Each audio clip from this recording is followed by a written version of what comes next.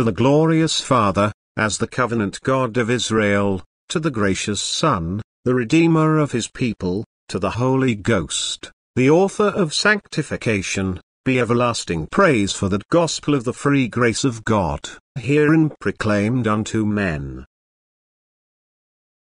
A Faithful Friend. A Sermon. Number 120. Delivered on Sabbath morning, March 8, 1857, by the Reverend C. H. Spurgeon.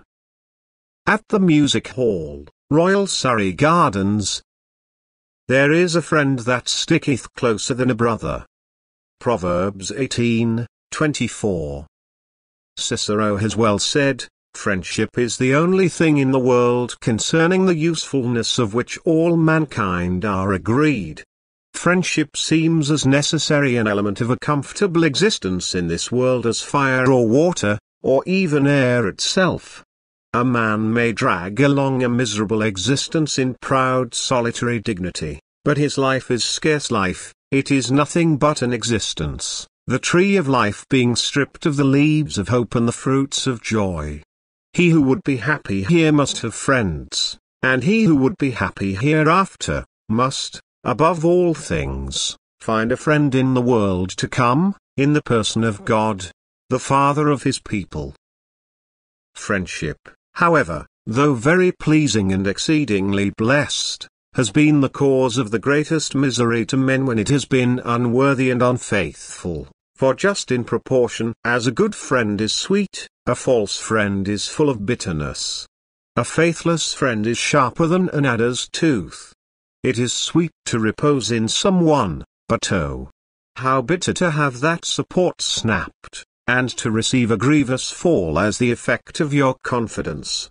Fidelity is an absolute necessary in a true friend, we cannot rejoice in men unless they will stand faithful to us. Solomon declares that there is a friend that sticketh closer than a brother. That friend, I suppose, he never found in the pomps and vanities of the world. He had tried them all, but he found them empty. He passed through all their joys, but he found them vanity of vanities. Poor Savage spoke from sad experience when he said, You'll find the friendship of the world a show. Mere outward show. 'Tis like the harlot's tears. The statesman's promise, or false patriot's zeal. Full of fair seeming, but delusion all. And so for the most part they are. The world's friendship is ever brittle. Trust to it, and you have trusted a robber, rely upon it, and you have leaned upon a thorn, A, worse than that, upon a spear which shall pierce you to the soul with agony. Yet Solomon says he had found a friend that sticketh closer than a brother. Not in the haunts of his unbridled pleasures, nor in the wanderings of his unlimited resources, but in the pavilion of the Most High, the secret dwelling place of God, in the person of Jesus, the Son of God, the friend of sinners. It is saying a great thing to affirm that there is a friend that sticketh closer than a brother, for the love of brotherhood has produced most valiant deeds. We have read stories of what brotherhood could do, which, we think, could hardly be excelled in the annals of friendship. Timoleon, with his shield, stood over the body of his slain brother, to defend him from the insults of the foe. It was reckoned a brave deed of brotherhood that he should dare the spears of an army in defense of his brother's corpse. And many such instances have there been, in ancient and modern warfare, of the attachment of brethren, there is a story told of a Highland regiment, who, while marching through the Highlands, lost their way. They were overtaken by one of the terrible storms which will sometimes come upon travellers unawares, and blinded by the snow, they lost their way upon the mountains. Well nigh frozen to death, it was with difficulty they could continue their march. One man after another dropped into the snow and disappeared. There were two brothers, however, of the name of Forsyth, one of them fell prostrate on the earth, and would have lain there to die, but his brother, though barely able to drag his own limbs across the white desert, took him on his back, and carried him along, and as others fell one by one, this brave, true-hearted brother carried his loved one on his back, until at last he himself fell down overcome with fatigue, and died. His brother, however, had received such warmth from his body that he was enabled to reach the end of his journey in safety, and so lived. Here we have an instance of one brother sacrificing his life for another. I hope there are some brothers here who would be prepared to do the same if they should ever be brought into the same difficulty.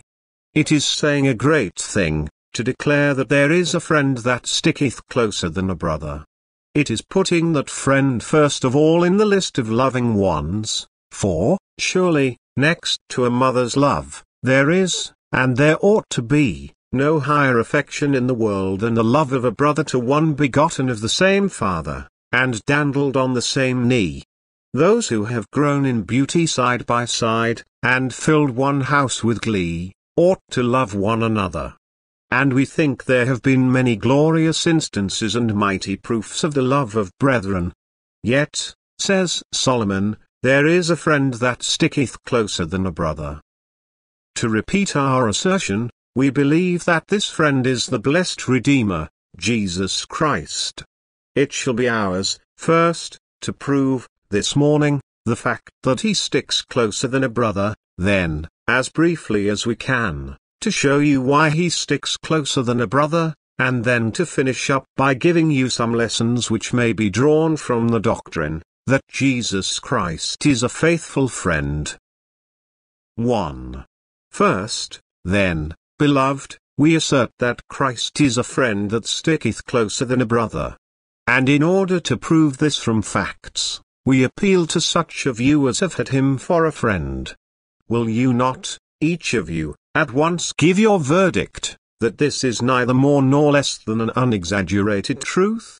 He loved you before all worlds, long ere the day star flung his ray across the darkness, before the wing of angel had flapped the unnavigated ether, before aught of creation had struggled from the womb of nothingness, God, even our God, had set his heart upon all his children.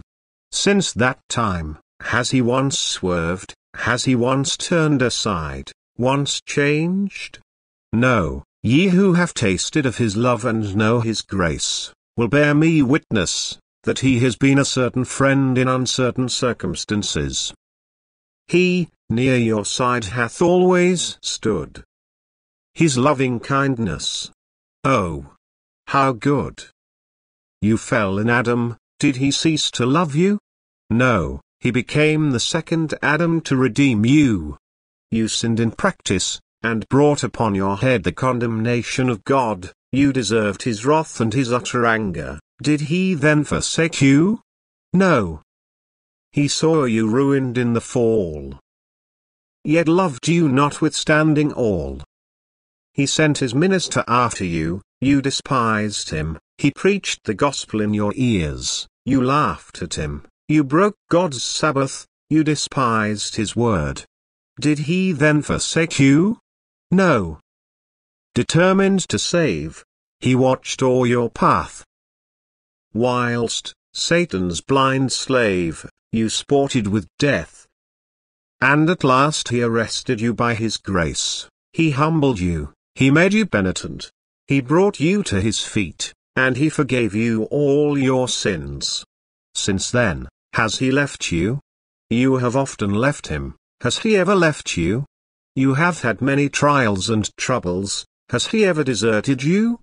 Has he ever turned away his heart, and shut up his bowels of compassion? No, children of God, it is your solemn duty to say no, and bear witness to his faithfulness. You have been in severe afflictions and in dangerous circumstances, did your friend desert you then? Others have been faithless to you, he that eat bread with you has lifted up his heel against you, but has Christ ever forsaken you? Has there ever been a moment when you could go to him, and say, Master, thou hast betrayed me? Could you once, in the blackest hour of your grief, dare to impugn his fidelity? Could you dare to say of him, Lord, thou hast promised what thou didst not perform? Will you not bear witness now, not one good thing hath failed of all that the Lord God hath promised, all hath come to pass? And do you fear he will yet forsake you?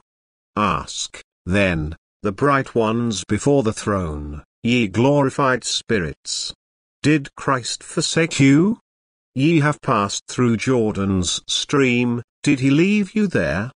Ye have been baptized in the black flood of death, did he the forsake you? Ye have stood before the throne of God, did he then deny you? And they answered, No, through all the troubles of our life, in all the bitterness of death, in all the agonies of our expiring moments, and in all the terrors of God's judgment, he hath been with us, a friend that sticketh closer than a brother. Out of all the millions of God's redeemed, there is not one he hath forsaken. Poor they have been, mean and distressed, but he hath never abhorred their prayer, never turned aside from doing them good. He hath been ever with them. For his mercy shall endure. Ever faithful, ever sure. But I shall not longer stay, since I cannot prove this to the ungodly, and to the godly it is already proven, for they know it by experience. Therefore it is but little necessary that I should do more than just certify the fact that Christ is a faithful friend, a friend in every hour of need and every time of distress. 2. And now I have to tell you the reasons why we may depend upon Christ as being a faithful friend. There are some things in himself which render it certain that he will stick close to his people. 1. True friendship can only be made between true men. Hearts are the soul of honor. There can be no lasting friendship between bad men. Bad men may pretend to love each other, but their friendship is a rope of sand, which shall be broken at any convenient season, but if a man have a sincere heart within him, and be true and noble, then we may confide in him. Spenser sings in fine old English verse. No, certes can that friendship long endure. However gay and goodly be the style, that doth ill cause or evil end in a. For virtue is the band that bindeth hearts most sure. But who can find a stain in the character of Jesus, or who can tarnish his honor? Has there ever been a spot on his escutcheon? Has his flag ever been trampled in the dust? Does he not stand the true witness in heaven, the faithful and just? Is it not declared of him that he is God who cannot lie? Have we not found him so up to this moment, and may we not, knowing that he is holy, holy, holy Lord, confide in him, that he will stick closer to us than a brother? His goodness is the guarantee of his fidelity, he cannot fail us. 2. Faithfulness to us in our faults is a certain sign of fidelity in a friend.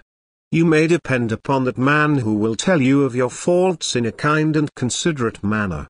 Fawning hypocrites, insidious flatterers, are the sweepings and offal of friendship. They are but the parasites upon that noble tree. But true friends put enough trust in you to tell you openly of your faults.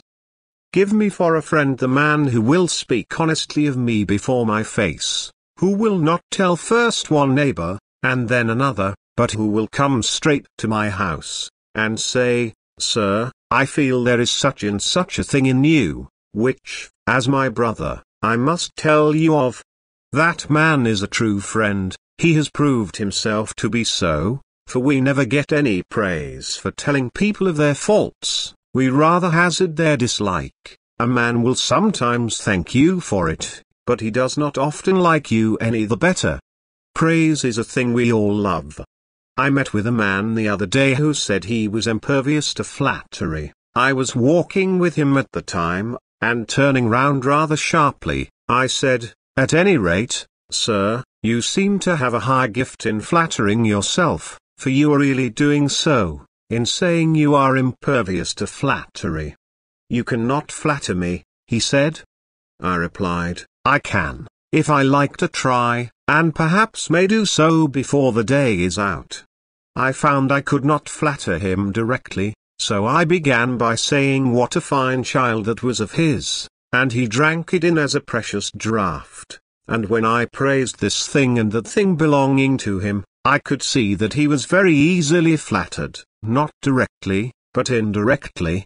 We are all pervious to flattery, we like the soothing cordial, only it must not be labeled flattery, for we have a religious abhorrence of flattery if it be so called, call it by any other name, and we drink it in, even as the ox drinketh in water.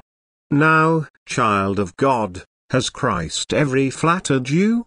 Has he not told you of your faults right truly? Has he not pricked your conscience even upon what you thought to gloss over, your little secret sins? Has he not provoked conscience to thunder in your ears notes of terror, because of your misdeeds? Well, then, you may trust him, for he shows that faithfulness which renders a man right trustworthy. Thus I have pointed out to you that there are reasons in himself for which we may trust him. 3. In the next place, there are some things in his friendship which render us sure of not being deceived, when we put our confidence in him. True friendship must not be of hasty growth. As quaint old Master Fuller says, let friendship creep gently to a height, if it rush to it, it may soon run itself out of breath. It is even so. I think it was Joanna Baillie said. Friendship is no plant of hasty growth. Though planted in its team's deep fixed soil. The gradual culture of kind intercourse must bring it to perfection. In vain thou trustest the gourd over thy head, O Jonah, it will not be of much use to thee, it came up in a night, it may wither in a night. It is the strong stiff oak, of ages growth, which shall abide the tempest, which shall alike put out its wings to shield thee from the sun, and shall afterward find thee a hovel in its heart, if necessary, in its grey old age, when its branches tremble in the blast. Friendship is true when it begins, but we must have a man's friendship long before we can say of him, that he will stick closer than a brother. And how long has Christ loved you? That you cannot tell. When the ages were not born he loved you, when this world was an infant, wrapped in the swaddling clothes of mist, he loved you, when the old pyramids had not begun to be builded. His heart was set upon you, and ever since you have been born he has had a strong affection for you. He looked on you in your cradle, and he loved you then, he was affianced to you when you were an infant of a span long, and he has loved you ever since. Some of you I see with grey hairs, some with heads all bald with age, he has loved you up till now, and will he now forsake you? Oh! No, his friendship is so old that it must last, it has been matured by so many tempests, it has been rooted by so many winds of trouble, that it cannot but endure, it must stand. Even as the granite peak of the mountain shall not be melted, because, unlike the snow, it has braved the blast, and borne the heat of the burning sun, it has stood out always, catching in its face every blow from the face of nature, and yet been unmoved and uninjured. It shall last, for it has lasted.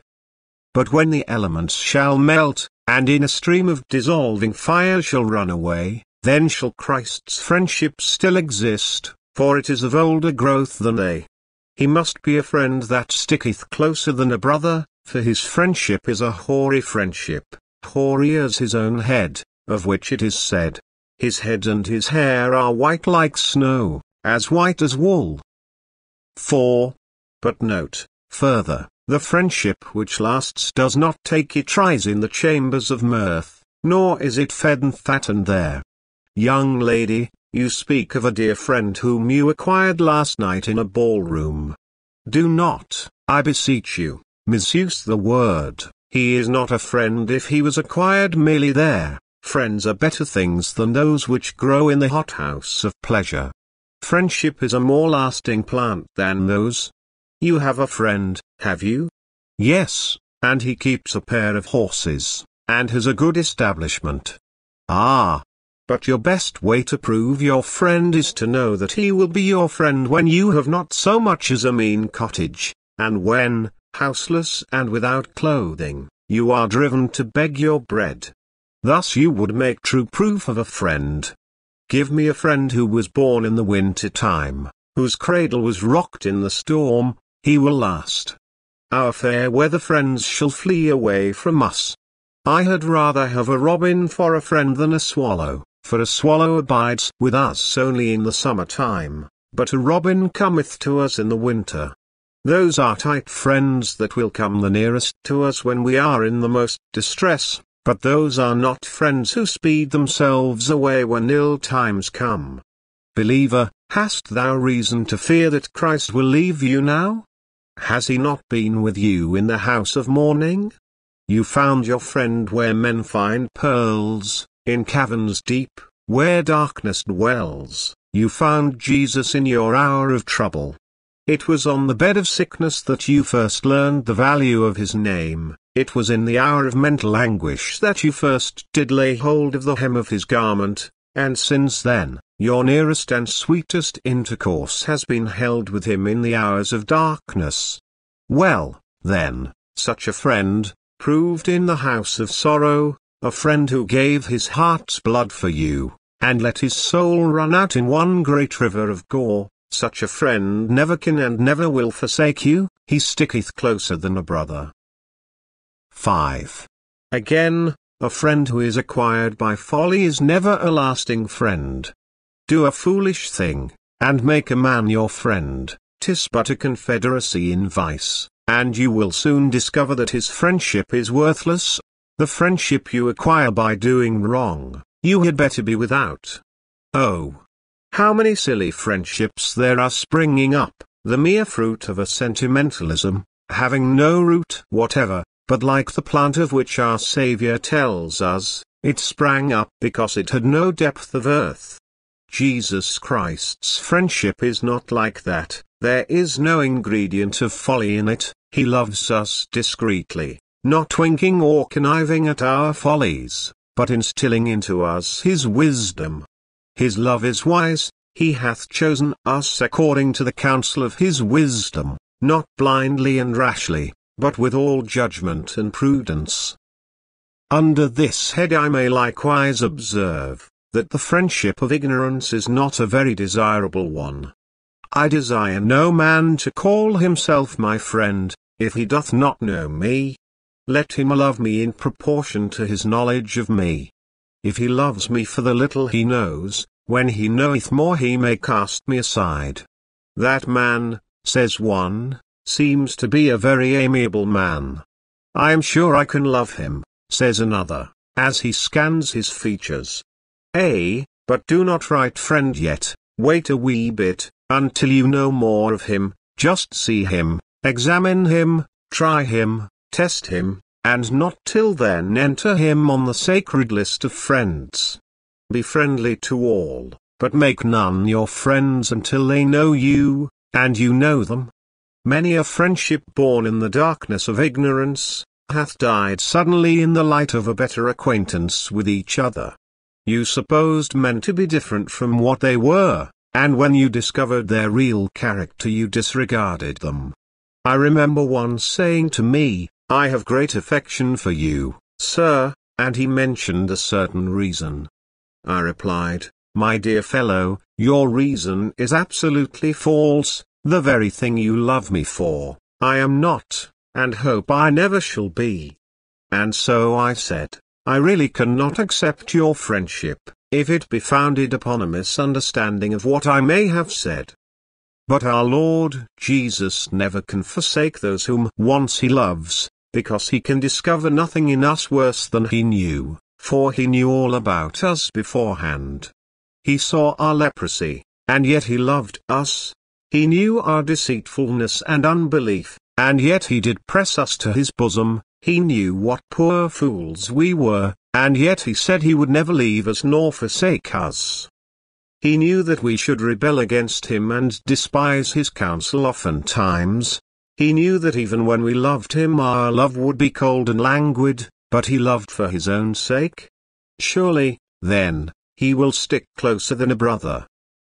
6. Yet again, friendship and love, to be real, must not lie in words, but in deeds. The friendship of bare compliment is the fashion of this age, because this age is the age of deceit. The world is the great house of sham. Go where you may in London, sham is staring you in the face, there are very few real things to be discovered. I allude not merely to tricks in business, adulterations in food, and such like. Deception is not confined to the tradesman's shop. It prevails throughout society, the sanctuary is not exempt. The preacher adopts a sham voice. You hardly ever hear a man speak in the pulpit in the same way he would speak in the parlor. Why, I hear my brethren, sometimes, when they are at tea or dinner, speak in a very comfortable decent sort of English voice, but when they get into their pulpits they adopt a sanctimonious tone, and fill their mouths with inflated utterance, or else whine most pitifully. They degrade the pulpit by pretending to honor it, speaking in a voice which God never intended any mortal to have. This is the great house of Sham, and such little things show which way the wind blows. You leave your card at a friend's house, that is an act of friendship. The card. I wonder whether, if he were hard up for cash, you would leave your banker's book. You write my dear sir, yours very truly, it is a sham, you do not mean it. Dear. That is a sacred word, it ought to be used to none but those you regard with affection, but we tolerate falsehoods now, as if they were truths. And we call them courtesies. Courtesies they may be, but untruths they are in many cases. Now, Christ's love lieth not in words, but in deeds. He saith not, my dear people, but he let his heart out, and we could see what that was. He doth not come to us, and say, Dearly beloved simply, but he hangs upon the cross, and there we read Dearly beloved in red letters. He does not come to us with the kisses of his lips first. He giveth us blessings with both his hands, he giveth himself for us, and then he giveth himself to us. Trust no complimentary friend, rely upon the man who giveth you real tokens worth your having, who does for you deeds to show the truthfulness of his heart. Such a friend, and such is Jesus, sticketh closer than a brother. 7. Once more, and I shall not weary you, I trust. A purchased friend will never last long. Give to a man nineteen times, and deny him the twentieth, and he shall hate you, for his love sprang only from your gifts. The love which I could buy for gold I would sell for dross. The friendship that I could buy for pearls I would dispense with for pebbles, it were of no value, and therefore the sooner lost the better. But O believer, Christ's love was unpurchased love. Thou broughtest him no present. Jacob said, when his sons went to Egypt, Take the man a present, a little oil, a little balm, a few nuts and almonds, but you took Christ no presents. When you came to him you said, Nothing in my hands I bring. Simply to thy cross I cling. You did not even promise that you would love him, for you had such a faithless heart, you durst not say so. You asked him to make you love him, that was the most you could do. He loved you for nothing at all, simply because he would love you. Well, that love which so lived on nothing but its own resources, will not starve through the scantiness of your returns. The love which grew in such a rocky heart as this, will not die for want of soil. That love which sprang up in the barren desert, in your unirrigated soul, will never, never die for want of moisture, it must live, it cannot expire. Jesus must be a friend that sticketh closer than a brother. 8. Shall I stay to urge more reasons? I may but mention one other, namely, this, that there cannot, by any possibility, arise any cause which could make Christ love us less. You say, How is this? One man loves his friend, but he on a sudden grows rich, and now he says I am a greater man than I used to be, I forget my old acquaintances. But Christ can grow no richer, he is as rich as he can be, infinitely so.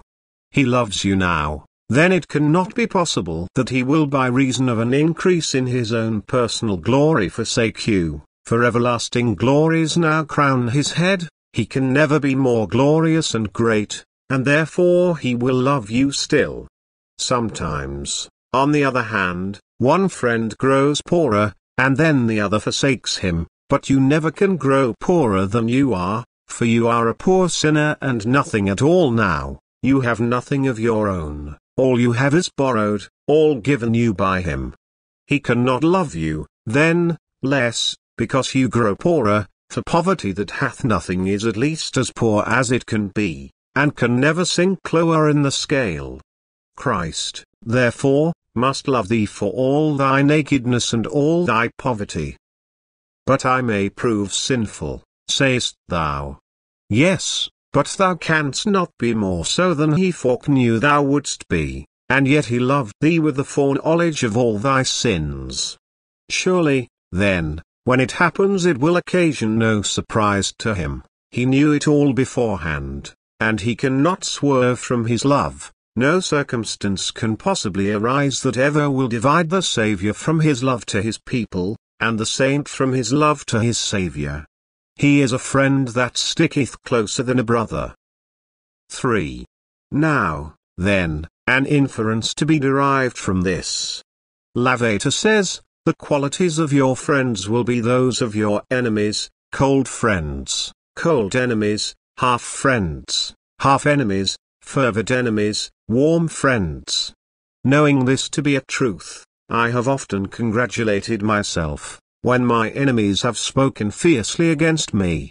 Well, I have thought, my friends love me hard and fast, let my enemies be as hot as they please, it only indicates that the friends are proportionately firm in affection. Then we draw this inference, that if Christ sticks close, and he is our friend, then our enemies will stick close, and never leave us till we die. Oh, Christian, because Christ sticks close, the devil will stick close too, he will be at you and with you, the dog of hell will never cease his howlings, till you reach the other side of Jordan, no place in this world is out of bow shot of that great enemy, till you have crossed the stream his arrows can reach you, and they will. If Christ gave himself for you, the devil will do all he can to destroy you. If Christ has been long-suffering to you, Satan will be persevering, in hopes that Christ may forget you, he will strive after you, and strive until he shall see you safely landed in heaven. But be not disappointed. The louder Satan roars, the more proof you shall have of Christ's love. Give me, said old Rutherford, give me a roaring devil rather than a sleeping one, for sleeping devils make me slumber but roaring ones provoke me to run to my master. Oh! Be glad, then, if the world rant at thee, if thy foes attack thee fiercely. Christ is just as full of love to thee as they are of hatred. Therefore, be firm and strong. Be grace thy shield and Christ thy song. And now am I have a question to ask. That question I ask of every man and every woman in this place, and of every child too, is Jesus Christ your friend? Have you a friend at court, at heaven's court? Is the judge of quick and dead your friend? Can you say that you love him, and has he ever revealed himself in the way of love to you? Dear hearer, do not answer that question for thy neighbor, answer it for thyself beer or peasant, rich or poor, learned or illiterate, this question is for each of you, therefore, ask it, is Christ my friend? Did you ever consider that question? Have you ever asked it? Oh! To be able to say Christ is my friend, is one of the sweetest things in the world. a man who had lived much in sin, one day casually entered a place of worship. Before the sermon, this hymn was sung. Jesus, lover of my soul. The next day the man was met by an acquaintance who asked him how he liked the sermon. Said he, I do not know, but there were two or three words that took such a hold of me that I did not know what to do with myself. The minister read that hymn, Jesus, lover of my soul. Ah! said he, though he was by no means a religious man, to be able to say that, I would give up all I have got. But do you think, he asked that Jesus ever will be the lover of such a man as I am? Jesus, lover of my soul. Oh! Could I say it? And then he buried his head in his hands and wept. I have every reason to fear that he went back to his sin, and was the same afterwards as before. But, you see, he had conscience enough to let him know how valuable it was to have Christ for his lover and his friend. Ah! Rich man, thou hast many friends. There be some here who have toiled for their country's good, and deserve a meed of honor at their country's hands, who, for one mistake, or what, perhaps, was a mistake, have been neglected by too many who once appeared to be their most trusty adherents. Oh! Put no confidence, ye great men and ye rich, in the adherence of your friends. David said in his hast, All men are liars, you may one day have to say it at your leisure. And oh! Ye kind and affectionate hearts, who are not rich in wealth, but who are rich in love, and that is the world's best wealth, put this golden coin among your silver ones, and it will sanctify them all. Get Christ's love shed abroad in your hearts, and your mother's love, your daughter's love, your husband's love, your wife's love, will become more sweet than ever. The love of Christ cast not out the love of relatives, but it sanctifies our loves, and makes them sweeter far. Remember, dear hearer, the love of men and women is very sweet, but all must pass away, and what will you do? If you have no wealth but the wealth that fadeth, and no love but the love which dies, when death shall come. Oh! To have the love of Christ.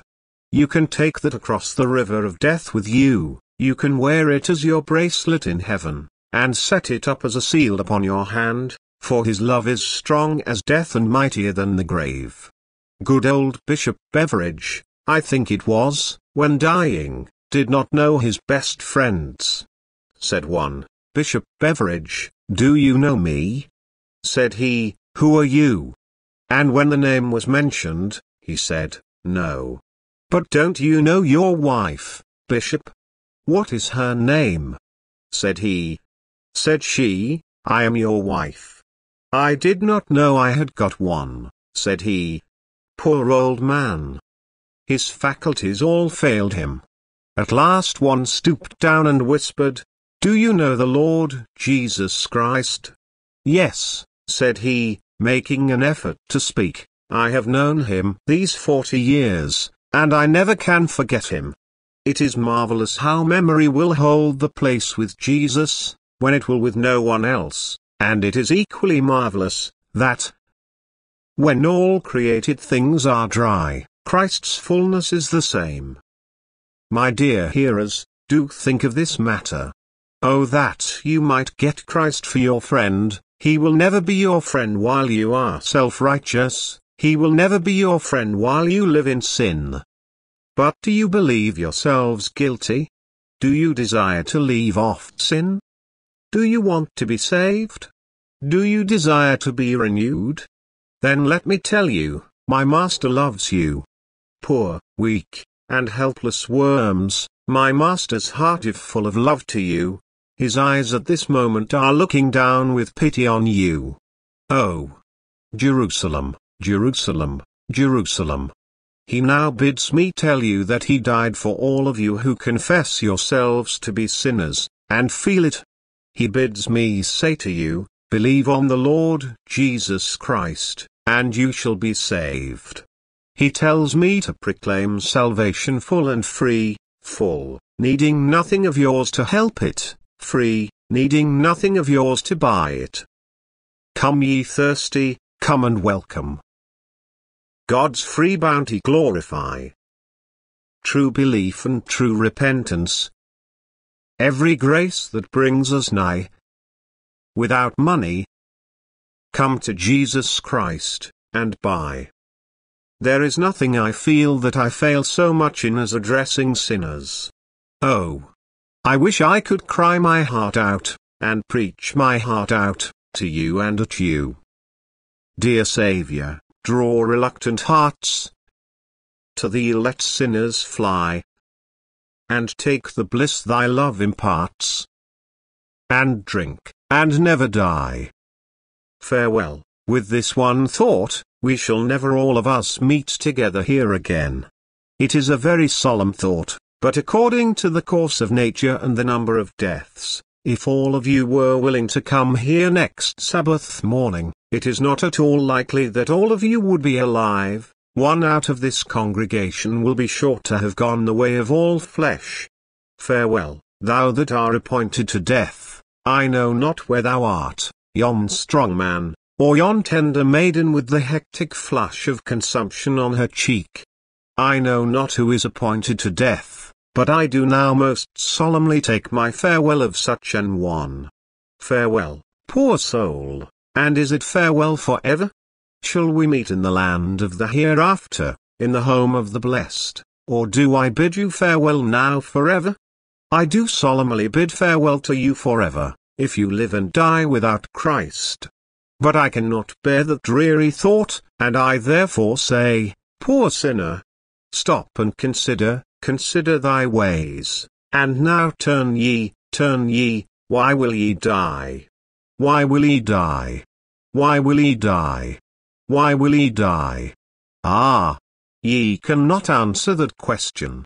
May God help you to answer it in a better fashion, by saying, Here Lord. Just as I am, without one plea. But that thy blood was shed for me. O Son of God I come to thee. I trust my soul in thy kind hands. The Lord bless you all for Christ's sake. Amen.